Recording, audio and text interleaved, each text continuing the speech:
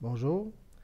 Quand on veut se faire un site web de classe, une des premières étapes, c'est de faire son plan de site.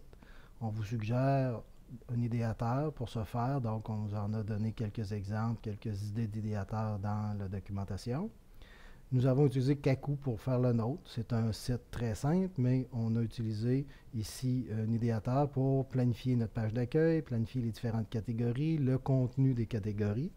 Donc, ça peut aider à ne pas déconstruire son site une fois qu'on a ajouté du contenu, donc d'avoir vraiment une idée claire d'où on veut aller avec notre plan de site. Ça peut être quelque chose de très important à réaliser.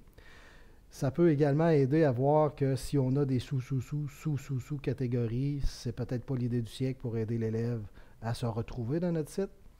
Également pour nous, parce qu'on imagine qu'un an plus tard, lorsqu'on revient pour une deuxième année à l'utilisation de notre site, si le classement est trop complexe, ça se peut qu'on nous-mêmes, on ait de la difficulté à se retrouver. Donc, un plan de site va nous imager la complexité de notre site, va même, si on le publie sur le site, comme dans le présent cas, donner une idée de la structure à nos visiteurs, ce qui peut simplifier son utilisation et rendre notre site de classe plus efficace.